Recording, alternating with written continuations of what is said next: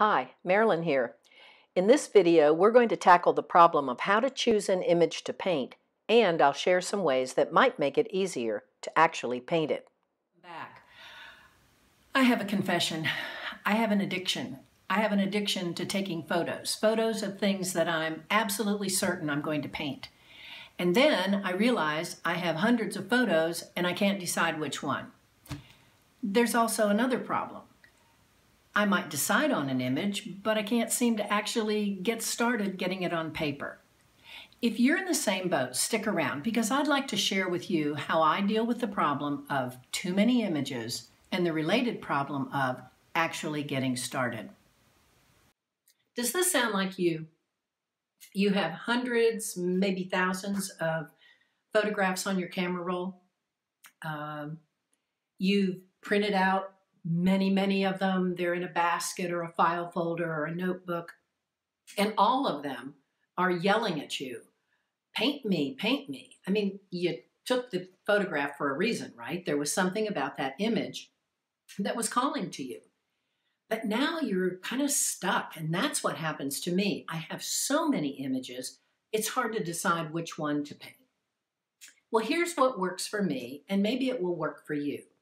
I found that if I set some criteria, it's easier to make a choice. So the first thing I do is narrow the field. I look across all the photographs and I try to pick five or six that are calling my name more than the others, that are essentially saying, please paint me now. The second thing I do is to look across those five or six photographs and see where there are some interesting shapes. Now, the shape could be the subject, or it could be an interesting shadow shape. The third thing I do is totally unscientific. I do a gut check. I try to think about what emotion am I feeling? What am I feeling when I look at these five or six paintings, and which one seems to generate the strongest response? Is it the result of a memory of when I took the photo? Is it the colors seem to really speak to me. Or maybe it's just I look at the image and I think, wow, I have never painted anything like this before. This could get really exciting. And I pick one. I know that all those other photographs are going to be waiting there patiently for me the next time I'm looking for inspiration. So let me walk you through how this worked for this particular painting of yellow tulips that I did about a month ago. I love to paint flowers. I have hundreds and hundreds of photographs on my camera roll of images that I hope to use as a reference for a painting. Of those hundreds, I realized I have 19 photographs of these yellow tulips. Now, these yellow tulips were given to me by a very, very special friend. So, right there, there's an emotional tie to uh, that particular image. Of the 19, I realized there were four that had some kind of interesting shadow shapes, and one in particular really stood out as a great candidate for a good painting. And that's how I chose it. Now comes the challenging part how do we move from one photograph to actually painting that image? The second problem is a little more difficult for me. I've chosen an image and now I have to actually paint it.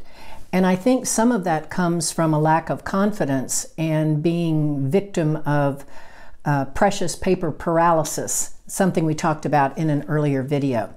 So let me share with you something that seems to be working for me right now, uh, where I am in my art journey, and maybe it will work for you.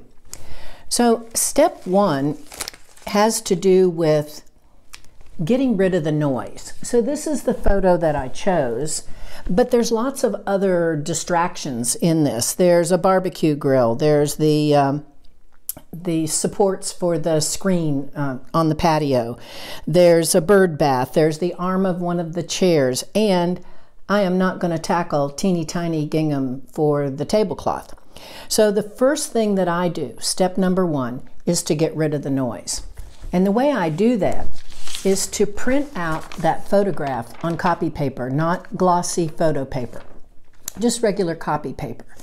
And then I take gesso and I paint around the whole subject and I get rid of all the background noise. So I've gotten rid of the edge of the table. No longer is there a distraction here with the bird bath and the screen and the barbecue grill. And what I found is some very interesting shapes that I couldn't see because the background was so distracting. You'll notice I didn't include the edge of the table. Um, I'm pretty sure that I want to change that when I paint it. But for right now, what I'm trying to get to is this big shape.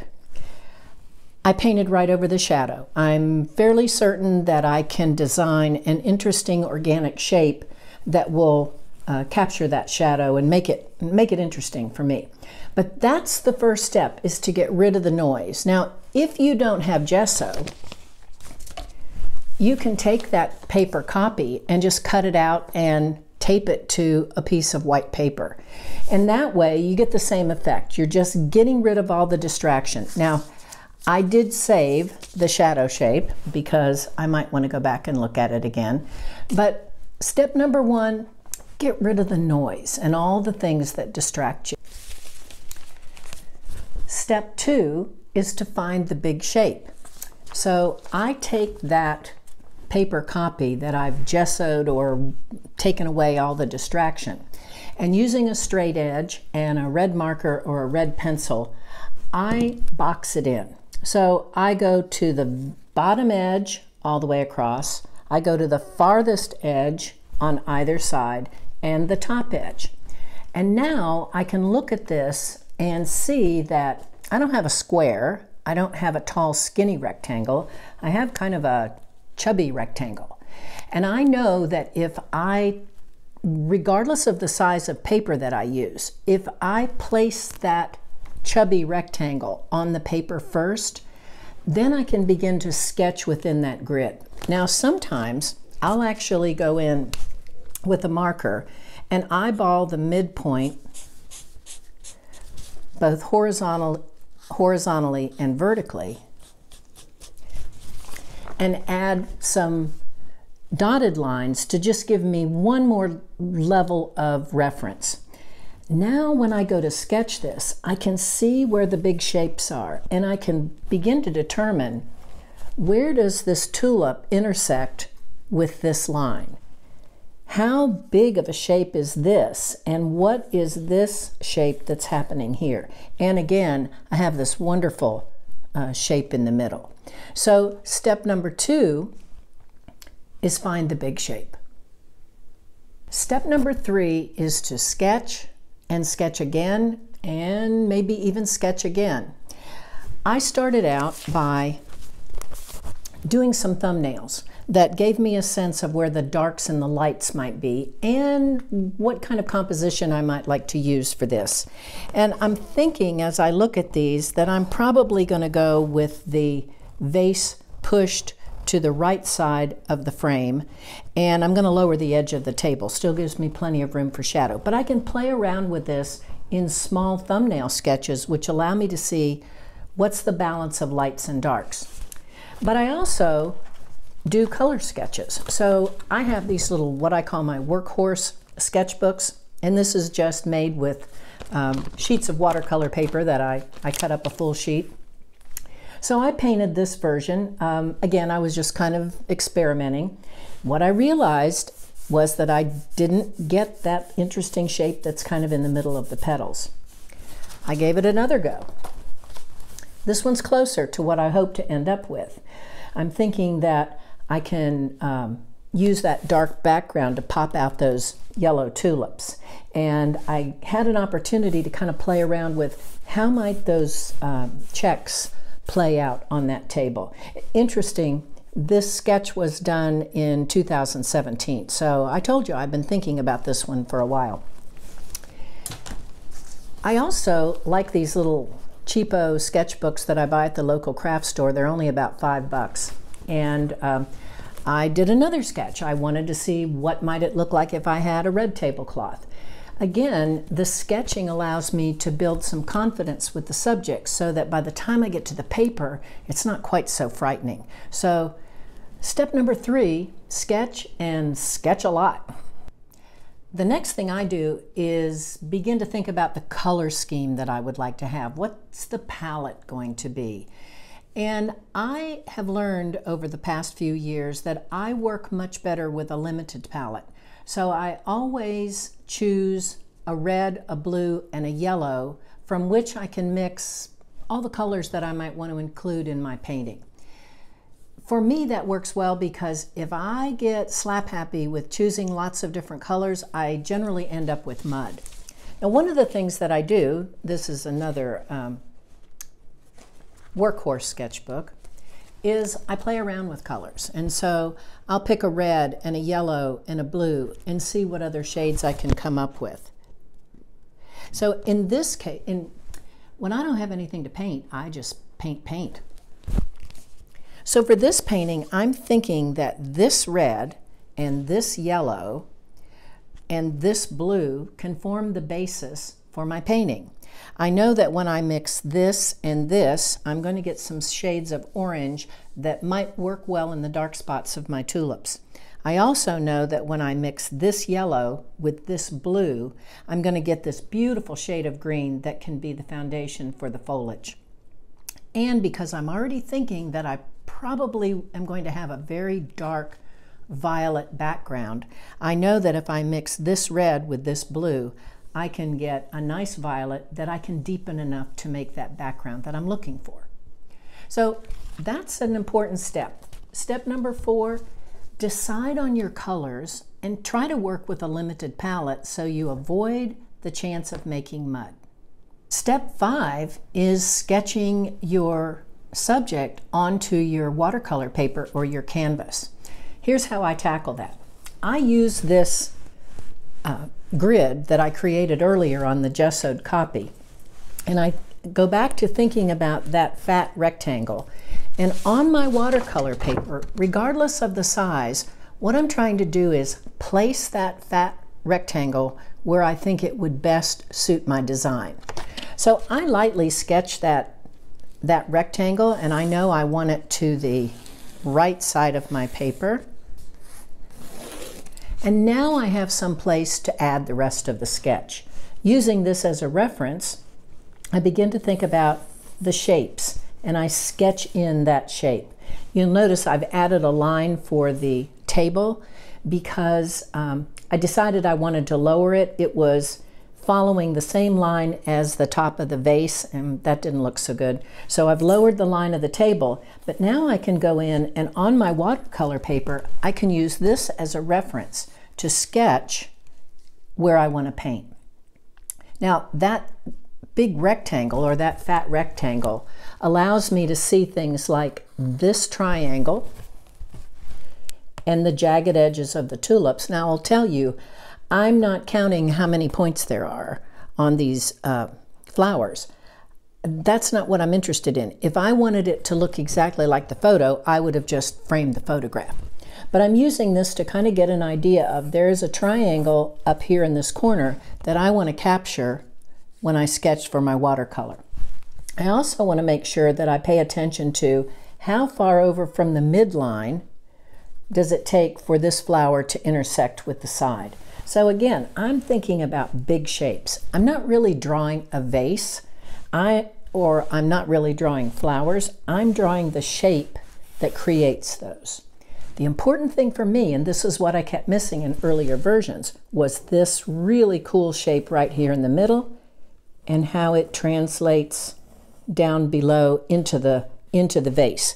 So that's something that I want to make sure that I capture when I take um, my sketch actually to the watercolor paper. I have a lot more confidence when I've done this so that I can do this part with some measure of success. Step number six is really important if you are a watercolorist. If you paint in oil or acrylic, this may not be as critical for you, but it might be worth paying attention to. As a watercolorist, I have to save the white of the paper to be my lightest value. And as we talked about in an earlier video, I'm always trying to play with that full range of value from the darkest dark to the lightest light. Once I put paint on the white of the paper, it is extremely difficult to ever recover that nice bright white again. So when I'm sketching and working from my reference, I actually go in and think about where do I want some whites? I know that this tablecloth has a lot of white in it. And on my watercolor paper, I might even make a note, W. And that's going to remind me when I start slinging paint that I need to save some of those whites. Now I also know if there's a shadow here, I know that the light is coming from this direction. So there are going to be some light spots along these edges and I might go in and make myself little notes just so I know where I want to leave some white sparkle of the paper. But that's an important step, especially if you're a watercolorist. Step number seven. Now we get to paint. One of my instructors at Dunedin Fine Arts Center likes to say, you need to plan like a turtle so you can paint like a rabbit. Well, we've been doing a lot of turtle work and now it's time to be the rabbit. First thing that I do, remember I sketched out lightly in pencil that fat rectangle, and that's what I built my sketch on. Well, I want to go in now with a kneaded eraser and I want to get rid of that rectangle. Yellow paint is kind of funny in that once you put paint over it, it's almost impossible to get rid of your pencil lines. So I want to make sure I have as few lines here as possible. I'm not erasing the tulip lines those are going to be a grid for me, and I don't care if some of my marks show through. That's kind of my uh, signature as an artist. So I've gotten rid of the sketch of the circle, and now what I'm going to do, I have my blue, my red, my yellow, and I'm going to cover this paper with water. I'm going to try to remember where I had those white places. I know that in the middle I have a big patch of yellow. And I don't care if some of that white shows through because those might be the sparkles that I need to indicate that the light's coming in. Now remember, I'm going to use the yellow and my blue to make my green. So I'm just going to throw some blue in there and let those things get married and kind of see what happens. If some of the paint ends up down here on the tablecloth, I'm not too worried about it. I really want to make sure that I have created a harmonious playground for these colors to play together. Now I did say I chose some red, and I do want to make sure that there's a little bit of that in there someplace. So let's make sure that the brush is clean, and we'll just throw in some red, let that dance around a little bit, and that's it. Now, that may look like chaos to you right now, but I have just taken away the fear of that white paper, the fact that I think it's so precious. There's already paint. It's kind of like the step we looked at in um, the paper paralysis episode about um, messing up the page. So I've messed up the page. I have the colors that I'm ultimately going to use in my painting. And now I can get down to the serious part of creating those tulips in a vase on a tablecloth. And that's how I tackle this whole problem of going from many, many, many photographs to one photograph to actually getting started on a piece of paper. I hope that was helpful for you and that you'll subscribe to this channel and I hope to see you again real soon. Bye.